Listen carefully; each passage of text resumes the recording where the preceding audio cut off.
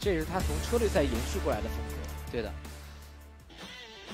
来了，感觉大家的一个用车还是比较保守的呀。是。来看一下第一分究竟谁先拿到？起步的话，小玉先冲出来，后面跟着宁静荷包蛋。宁阳在两个弯道来到了第二名的位置。第一个进道过来之后，宁青的这个弯道过得并不是特别快。是。拿个 W C W W。延续过来，小玉可能是比较极限，所以他的氮气是会少一管。是。这块在后面是需要一个地方去卡气的。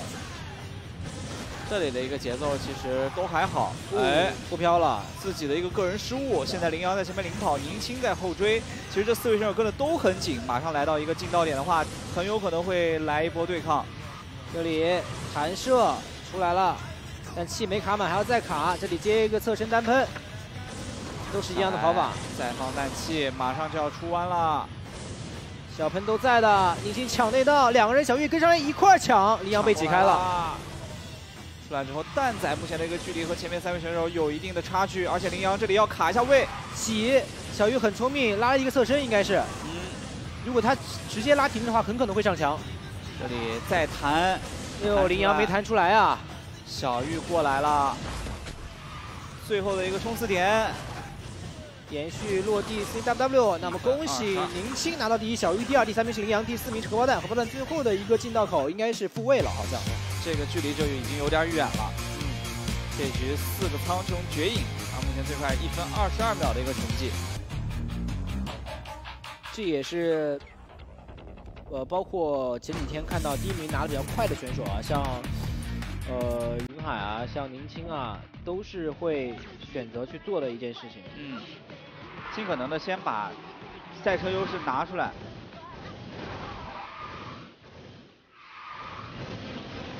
开局目前来看，其实四位选手跟的都很近，但是逐行者的优势展现出来了。对。开 ECU，延续。直接转，再接弹射，但羚羊有点磕碰，弹射还是出来了。紧接着一个弹过来，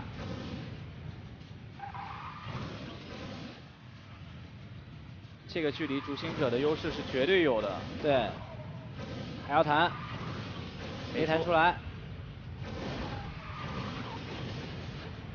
上来接延续，顶着宁青的车尾弹，反倒是还干扰到了宁青。对，这里做一个飘飞。延续，再双杀放氮气，ECU，接延续，就这张赛道很多选手，他的弹射都是硬弹嘛，不会用双杀嘛。对，因为硬弹还是快，双杀会点刹车，还是会损失一点点的速度。速度。下来。那小玉的主主心者在领跑位待的还是比较的稳定，最后的一个冲线时间是一分三零秒，小。小玉拿到第一名，第二名哦，羚羊在第二，嗯，但是这一手主行者被打掉了，拿到了一分，是可以的，对，通过昨天的一个小组赛，也是能够打出羚羊的一些自信吧，对，真的很难选，说实话，昨天他的分数就已经不是很好打了。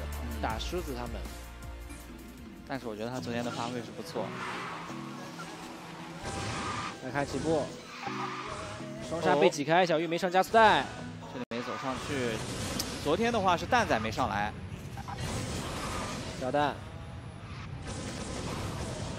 然后延续，氮气没满，但是要论拼弹射，你别管成不成功，它的极限性后面两位选手都是有的呀。是的，来了，四位选手跟的都好近啊。对，是是是，两位选手同时小喷没蹭掉了对，全都没了小喷。突然没有了，我还发现哎，感觉是一个正常跑法是吧？我看一下小喷都没了。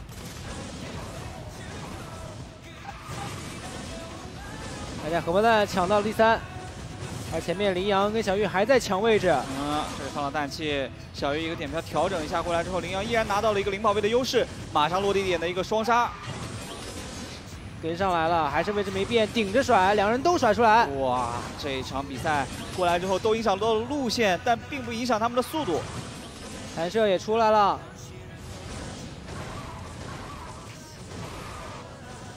羚羊还稳在第一，ECU 开起来，这里的延续甩尾过来，这里拖了，可惜呀，他如果甩出来的话，其实能够反超。而这一甩没了，直接掉到第四，羚羊率先出现拿到第一分，第二名是荷包蛋，第三名小玉。哇，羚羊现在真的，我觉得他对于弹射的一个角度以及完成度非常高，而且特别有自信。这局其实最关键是他真稳。对，说实话，三名选手一直跟在他的后面，都没有机会能够超过他的前面。两圈赛道，大家都没有太多失误的情况下，而且也都，我留金霸是为了骗你更多的车，嗯，也是，对吧？是有的。我选别的图，但是你就以为我会用什么什么车，我只是把金霸留起来，但是我金霸就是为了跑这张图，而你们会用别的车，对的，以车换车嘛。而且现在的比赛分数来看，是有持久战这么的想法的。对啊。来了，开局两个迈凯伦先冲了。双杀弹射，顶着弹，哇！现在现在的选手是真的敢做这些操作，是的，因为顶着弹的失误率很大，其实哦。但是宁青的这里，刚刚才是羚羊歪了，他没有飘飞起来啊。但蛋仔这辆金霸，其实在动力上也是不吃亏的，开弹了。只要特性不断的触发，他的氮气动力也是很强的。磕了一下右侧。做延续，卡内档，ECU 开歪了。这一个 ECU 被小玉影响到了路线，所以往右飞了一下。对，有点着急，因为他出弯如果再慢一点的话，小玉就要超过来。啊，这里又磕到了，但是还好这个弯比较短，可以直接衔接一个双杀。飘飞落地。哎，宁青这里有点歪啊，没方向键都没有按到啊。对，我但哦，单击是正常的。看这里四 W，但这个在第二圈迈凯伦的动力就没有那么强了。是的，这个距离下撞了，没机会，差一点点。但小玉也意识到了这波还是他这波选择冲撞的原因，是因为羚羊跟荷包蛋的距离比较远，他即使撞失误了，可能他也没有太大的损失去丢掉第二。哦，这一波主要对，但换句话来说，前半段他没冲出来，也可能开局即结束啊。是的。三个人走右侧，宁青的起步更快一点，飞过来没有撞到，平安过来，但是宁青的 ECU 歪了。小玉来到了第一，后面跟的是自己曾经的队友，哇！但是这一个连带，是不是通过对抗想起了昔日队友情呢？这波下来之后，宁青这里没氮气，弹射没出，WC W 坑，实在是等不到这个被动了。拉侧身，小蛋前面新加带小玉顺利过来，难点来了，喷啊，留了一下小喷的，小蛋，这一段宁青过得比较慢，对，这里弹射也没出，上墙了，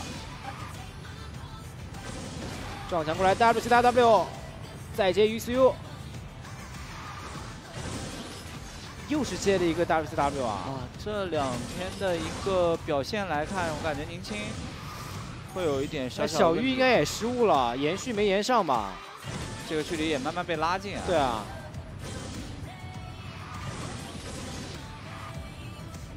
点飘一下，还不足以造成对抗。下弯道。呃，这个距离都没有氮气，过来之后氮气都是一样的。D W W 氮气延续冲线，恭喜！而且小玉直接来到自己的赛点局，是的，两个拿到第三分。两个人的氮气节奏都是一样的，就没有机会再有任何上的变化了。是，不是说重点就是就是很他的双杀弹射成功率就给人感觉不高。但对于是普通玩家来说，对于他们来说可能不一样。来了。哎，没弹出来，直接就 宣告退退出了游戏，开局即退役了。双生啊，好难受啊！三个人弹，一个人拖。再弹，小玉还是成功了，宁青是没弹出来的。而且现在是小玉的赛点啊！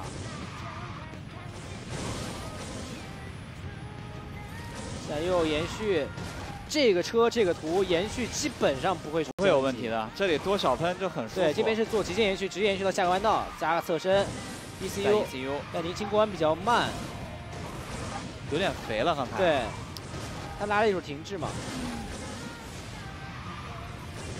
往右靠，落地，哎，看一下小延，这里直接能做极限的话，这里直接能够延续到下个进道口，可以的。对，小喷绝对够，延到了。对，要延续到下个进道口，十八下再过来做一个暴力。宁青依然在最后一个后追，但是这局小玉跑的真的太快了。是，虽然说距离没有特别的远，但往往这样的距离可能会也保持到终点。是的。唯一的机会就是看落地之后了，落地之后的细节谁出弯更快？对，现在距离已经足够一个细节拉近距离去做对抗的。刚才宁青在这个弯道过得很慢，但是这里拉了个侧身，ECU 又肥了。哦，这样的一个距离，我觉得对于宁青来说好难了。对，刚刚那个停滞拉的时间过久，导致车速过弯很慢。小玉最后延续，应该是没有太多问题。赛事上裁决者可以冲线，冲线时间是一分四十七秒一四。让我们恭喜 R G 小玉直接拿到四分，成功晋级车神组。四一一零，这一个星耀组感觉跟昨天的车神组的一个分数一样啊，很快。哇，小玉今天的这个这两局跑的太快了，最关键是稳，因为其实。在宁青的视角上来看，他也在做极限。对，他的失误说实话不是特别的大，就是出弯速度问题。两个那个侧身 ECU 释放点的弯道过得慢了那么一点点，对但就这么扩大那么一点距离，就导致他没有机会去做对抗。是。欢迎来到采访席，我是梁生，现在站我旁边的是来自 SG 的小玉，先和大家打招呼吧。大家好，我是 SG 小玉。呃，首先先问一下，其实这个阳光王城啊，现在是你的记录嘛？然后今天也是取得了胜利。那你觉得这张图的难点是什么呢？难点就在于弹射啊，弹射稳的就厉害。呃，主要还是一些弹射点的这个稳定嘛。那你觉得用什么车会比较适配呢？嗯，用这个版本最强的裁决者还有逐星者。啊，就是这两辆车会比较适合是吗？那第二个问题就是，我们这个升降级的这个赛制，你会不会觉得有些压力呢？因为昨天是从车神组掉下来，然后现在又打回去嘛。嗯，没什么压力吧，差不多，反正能进十六强了。啊，就是已经稳了是吧？那其实自己的两名队友是稍微有些落后的，有没有什么想对他们说的呢？嗯，就让他们嗯打好自己的，打好训练成果就行。就是打好自己的，就是放稳心态，是吧？那最后一个问题就是，这次赏金赛的目标是什么呢？我说过了呀，十六强。那已经十六强了，有没有就是下一步的目标呢？赢一场单挑吧，八强。八强赢两赢一场单挑是吧？那感谢小玉接受我们的采访，接下来把画面交还给解说席。